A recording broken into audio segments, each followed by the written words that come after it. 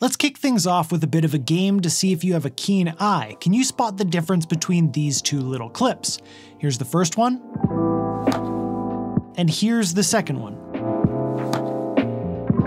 The difference is kind of subtle since they're essentially the same shot, but in the second one, we're changing the speed of certain parts of the clips to make the impact of the axe hitting the wood even more epic. This technique is called speed ramping, and it's a relatively easy trick that you can use in your videos to breathe new life into them if they're feeling a little bit stale. So, secure the cup, and let's learn some speed ramping.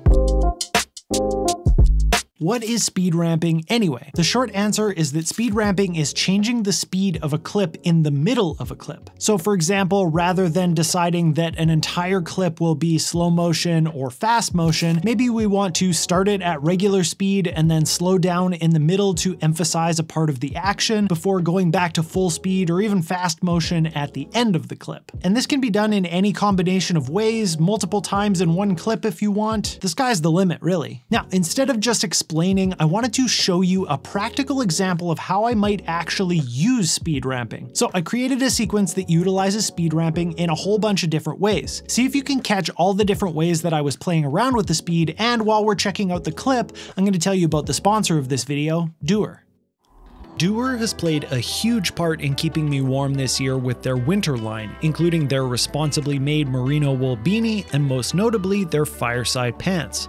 The Fireside denim have limitless stretch, a DWR coating to repel water or snow, and an interwoven fleece lining that makes them a one layer solution to keep warm and dry while you're out on an adventure. I've hiked through knee deep snow, chopped firewood, and brushed a foot of snow off my car in these pants, and they have always kept me warm and comfortable but that is far from all that DUER has to offer. Their entire lineup is a perfect blend of technical, style, and comfort so that you get everything that you want from a jean in any situation without sacrificing the look.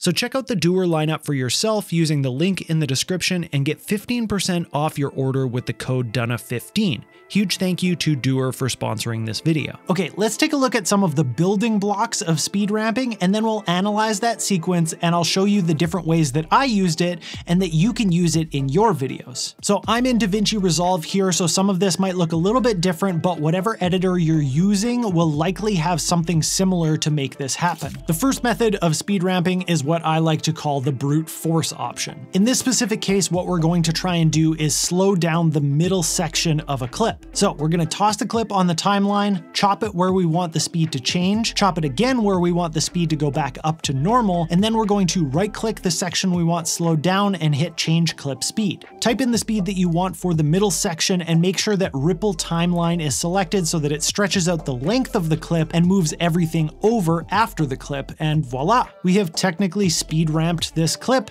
It starts at the normal speed, slows down in the middle, and then speeds back up at the end. However, the reason that I called this the brute force option is because the transition between regular speed and slowed down is immediate, and it's therefore kind of jarring. It's also really hard to make any changes after you've already made your cuts. If we wanted to change the point at which our speed change starts or ends, we can't just drag the clips around easily. And finally, you're left with three clips to deal with instead of one now. So as much as this method is nice and easy, it's not always the best. However, there's another tool that opens up a bit more control to us if we right click on the clip and hit retime controls. You can also hit Command R or Control R if you're on a PC. Now you can see on the clip that some new things have opened up. It shows us the speed at the bottom, currently it's 20%, but if we drag from the top right, we can increase or decrease the speed to whatever we need. We can also click the down arrow at the bottom to access some pre preset speed tools like changing to a specific speed percentage, reset it to 100%, creating a freeze frame, reversing the clip, and then there's the rewind and speed ramp that are both little speed presets that I have never really found very useful, but you can play around with them if you want to. As it currently stands, we still have the same problem as before. We've got three clips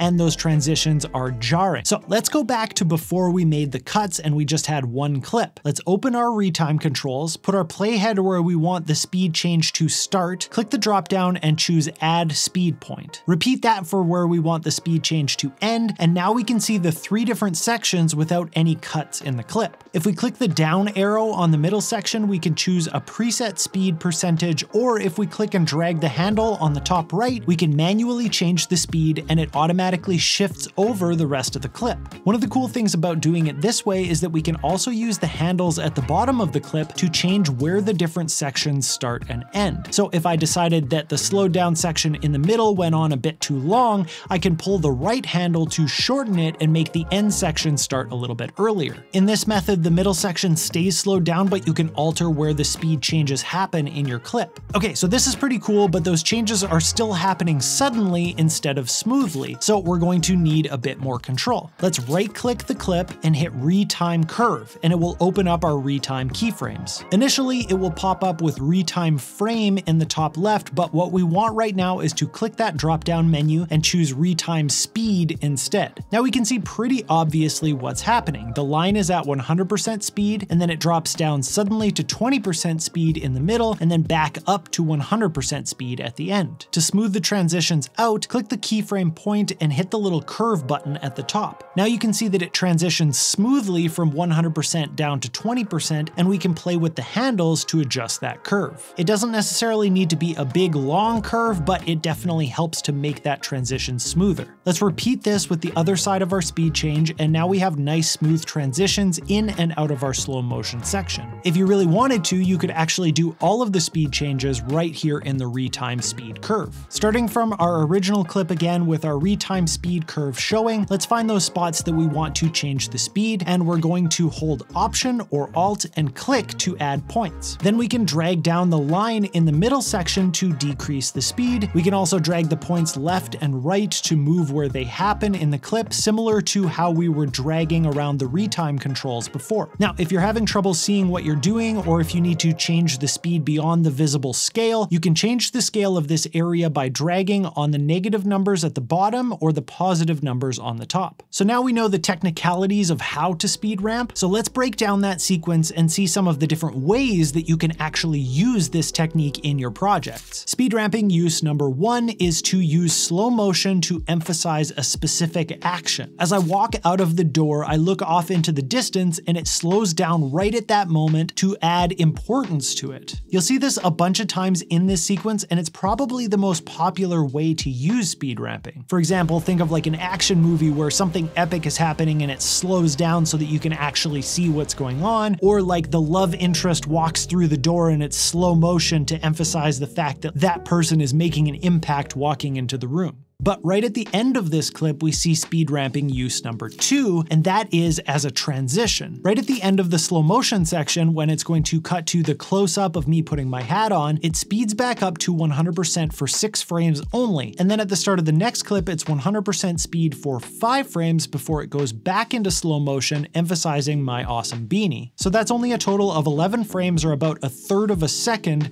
over top of the cut where it goes back to full speed. Not only does this move things along nicely rather than being all in slow motion, it really solidifies the cut as one unified movement, and it makes it less noticeable if there are slight inconsistencies in that movement. This is another one that's used many times throughout the sequence, even when the two clips aren't necessarily a matched movement like that. The third use for speed ramping is to speed up to intensify the action. In that clip that I showed you at the start, I used both slow motion and fast motion to really make that axe hitting the wood as epic as possible. The clip starts in slow motion with me swinging the axe upward, but rather than just using 100% speed, I bumped it up to 183% to make the swing seem even faster and harder. In the close-up clip, I started it with 170% speed and then slowed it down immediately after the hit so that we could see the wood chips fly off in slow motion. So for this little section, it's both a transition and an intensifier by making it faster than real life. This can be a great trick for big impacts or fight scenes. Speeding a punch or kick up even just a little bit can make it seem a lot more impactful. And the final way that I use speed ramping in this whole sequence was to sync up all the important points with the music. I filmed the whole thing at 120 frames per second so I knew on a 24 frame per second timeline I would be able to slow it down to 20% speed without any choppiness. This gives me a lot of flexibility with the speeds that I use and by playing with the handles of my speed points I was able to make important things happen at precisely the right moment when they would have the most impact with the music. So now you know some of the ways that you can use speed ramping and some of the ways that I use them here. So let's watch this one more time and see if you can point any more of them out.